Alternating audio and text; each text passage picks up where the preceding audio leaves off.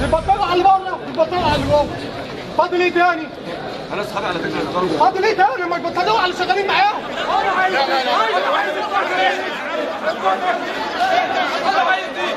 أنا عايز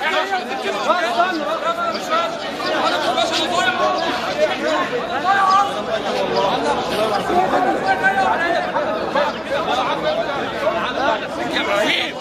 بس اطلع اطلع بس خليك في نفسك بس لا تأمين بالراحه يلا إبراهيم يلا إبراهيم يلا إبراهيم يلا إبراهيم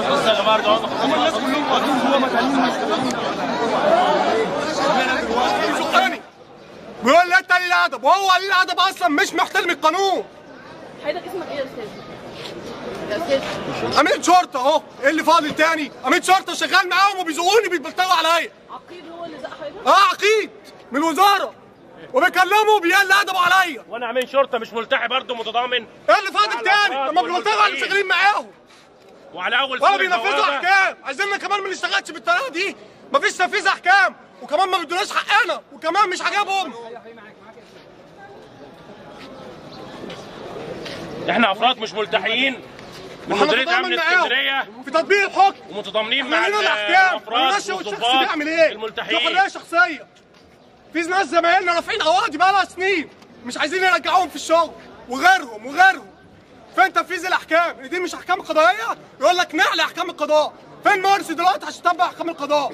وصل له الحكم ولا ما وصلوش؟ ولا دي دلوقتي مش سامحها؟ وزير الداخلية ده ما وصلوش الحكم لا. يقول لك الحكم يوصل لي على إيد محضر. يعني إيه؟ ما بيحترمش حكم القضاء. يعني إيه الحكم يوصل لك على إيد محضر؟ أنت سمعت بالحكم وجالك كذا مرة. وما انت عملت استئناف على إيه؟ وعمل نقض على إيه؟ الداخلية فوق القضاء لغاية دلوقتي. لسه نظام حبيب العدل بيطبقه. وحسني مبارك. يعني إيه وزير الداخلية ما يطبقش حكم؟ يعني أنا دلوقتي لو اتظلمت جوه الوزارة ما حدش هيجيب لي حقي؟ ولسه عبيد لغاية دلوقتي. كل واحد يقول لك العبد المامور من أول عسكري لغاية أعلى واحد فوق.